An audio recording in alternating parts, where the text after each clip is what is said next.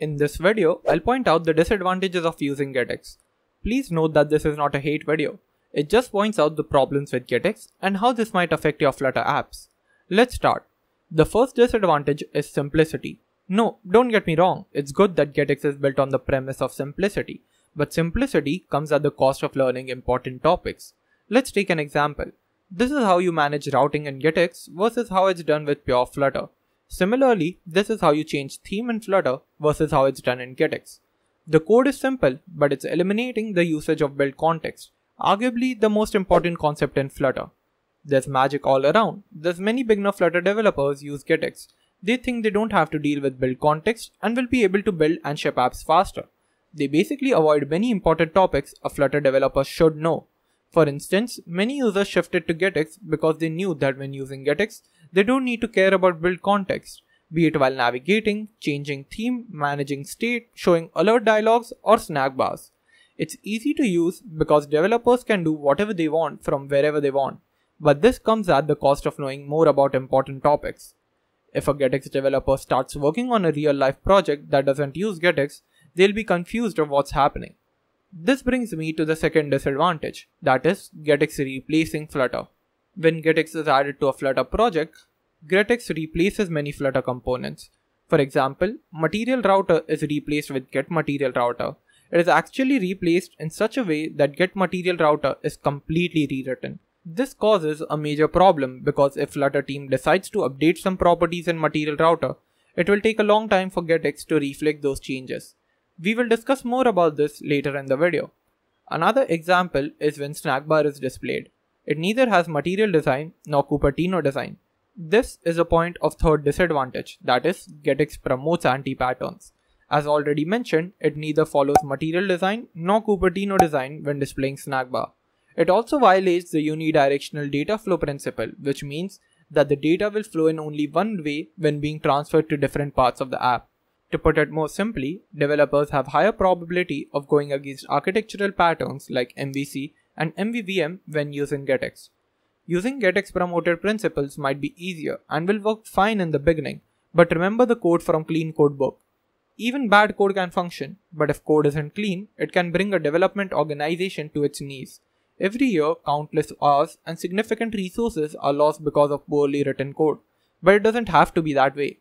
So if you continue to use GetX, you need to continuously ensure that you're following the right principles when using it. It's quite easy to go off track because of the solution it provides. Let's shift to the fourth disadvantage. GetX tries to do everything you would want in your Flutter app. It's not just managing the state in app. It is also managing routing, dependencies, validation, internationalization, storage, theming, and some more stuff. It seems like a good thing that the entire app is dependent on just one plugin. But keep in mind, this is a project by a single developer or maybe a small community of developers who are not backed or funded by a company.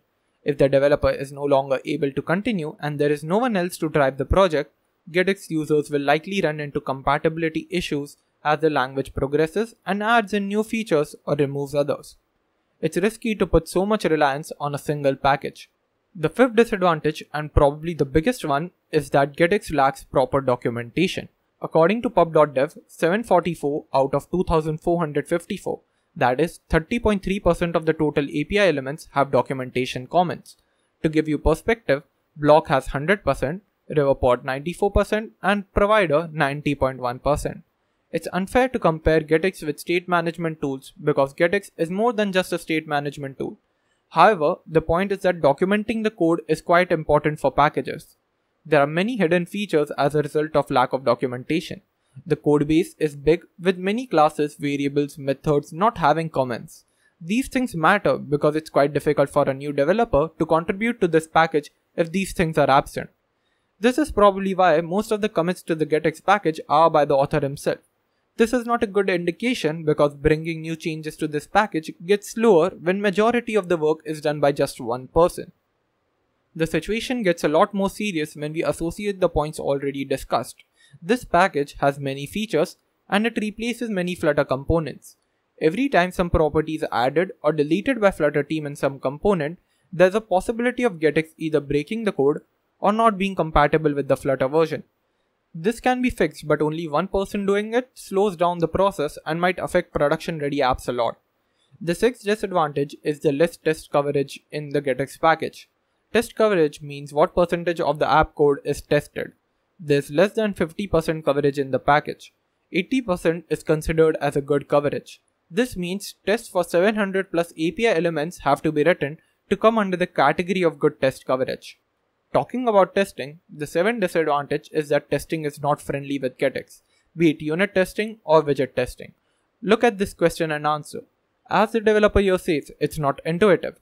It is also a waste of time if similar errors keep repeating. The last disadvantage point is that plugin is not well thought.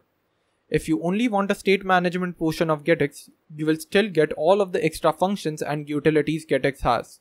In comparison to GetX 2454 API elements, Riverpod has 85, Provider 161 and Bloc 56. It's quite strange for a package to have so many API elements. Another example to support the point is that GetConnect module. Most projects either use REST APIs or GraphQL. It has support for both. It can be separated into separate independent external packages, however, it is in the same package. So what's the conclusion of this video? Should you use GetX or not? In my opinion, if you're working on a hobby project and don't want to gain more knowledge on Flutter with that, you can go ahead with GetX. It is quick and offers an easy to use API.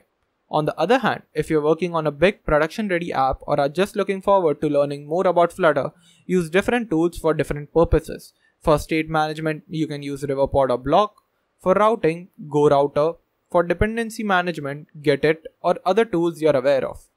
Special thanks to Ismail Alam Khan for reviewing the points of this video. Do check out his Twitter handle mentioned in the description below.